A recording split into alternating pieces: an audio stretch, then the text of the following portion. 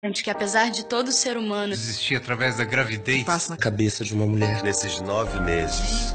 Vergonha! Que vergonha! Onde a Rede Globo chegou? Quer defender o indefensável. Cínicos, dissimulados, maquiavélicos. Eu tô aqui de boca aberta cambada de dissimulado, vocês vão tudo pra cadeia. Vocês são covardes. Vocês são covardes. Vocês são cínicos. E eu vou dizer aqui, essa é a derrocata da Globo. Nós não vamos nos calar. A sociedade está revoltada. Que negócio de um dia não ver a Globo? Nós temos que apagar a Globo. Fica aqui o meu protesto, a minha indignação. Vamos protestar. Que vergonha, Rede Globo! Mas para, cria juízo nessa cabeça. É hora de nós criarmos coragem e dizer um basta para esses que estão nos manipulando. Chega! Se você quer ser, continuar sendo marionete, brinquedinho de manipulação, continua, seu trouxa, mas eu não. Continua, sua trouxa, mas eu não. A gente tem que criar vergonha na cara. Ser mais coerente, ser mais fiel, ser mais santo porque a gente não aceita que essas pessoas que sabem aonde elas querem chegar fiquem mudando a realidade moral das nossas famílias. É tudo lindo. Aí vai um monte de artistas ridículos fazer lá um, um vídeo dizendo: ser mãe, não ser mãe. Vamos pensar um pouquinho, minha gente. Vamos pensar um pouquinho. Vamos refletir. Ou esse pessoal já conseguiu fazer uma lavagem cerebral em nós que nós não conseguimos nem mais raciocinar. Não aceitamos. Não aceitamos. Não vamos aceitar. Todos os católicos, e aqui certamente todos nós temos na nossa família algumas pessoas que não são católicas mais, são evangélicas ou de alguma outra religião. Falem com elas e vamos nos unir contra este espírito diabólico que inclusive a Rede Globo está espalhando contra a família e contra a religião. Porque a Rede Globo é um demônio dentro das nossas casas. Nós precisamos nos unir, precisamos nos unir contra essa ditadura da Rede Globo. Maravilhoso, cor-de-rosa, sublime. Isso vem, ó.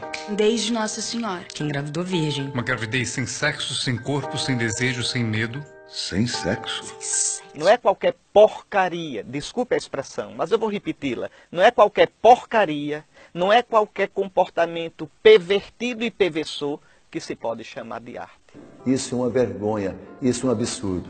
E você, católico, não pode compactuar com esse mal, você não pode ficar de braços cruzados. E nós estamos envolvendo com a Rede Globo, que é do diabo, que é o diabo personificado.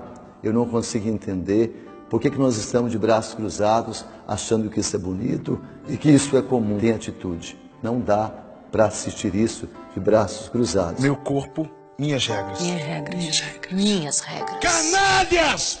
Pilantras! Tarados! Saibam que não é como vocês querem. É como tem que ser. Como a lei brasileira tem que ser. Vocês têm que ter mais respeito pelas famílias que pelo menos querem ter a união familiar, o respeito, a educação. Nenhum pai, deputado uh, uh, Jair Bolsonaro, deseja ter uma prostituta dentro de casa. Nenhuma mãe deseja ter um filho pedófilo. Bandidos! A nossa co-irmã, a Igreja Católica, está ofendida, foi vilipendiada. Não podemos mais nos calar. É um desrespeito à humanidade cristã independente de religião, sou pastor evangélico, mas como deputado não posso me calar. E esses filhos do diabo não podem ficar em Então, preste bem atenção, porque aqui, ó, Rede Globo, ó, nós, a nossa família já decidiu. Lixo deve ser jogado no lixo. A partir de agora, nós, como família cristã, como família de bem, que somos chamados por vocês de gente incômoda, nós vamos e já tomamos uma decisão. Vocês não mais entrarão em nossa casa. Ok, pessoal? Vocês precisam como? Como vocês precisam? A Igreja do Evangelho Quadrangular toma a decisão de desligar o canal da televisão Rede Globo e não usar em defesa da família por tudo isso que a Rede Globo está apoiando a ideologia de gênero, o ativismo gay e tudo isso que destrói a família brasileira. E não deixem. Façam como fizeram. Enchem as redes sociais. E eh, podem até entrar na justiça. Entrar na justiça. Fizeram muito bem a campanha contra isto. Tenho certeza que quem promoveu, quem apoiou, arrependeu-se da hora que nasceu. É isso. Quando pisarem no seu calo, grite. Ou seja você covarde, se cale, ou tenha coragem e se junte a nós. A nossa família merece respeito.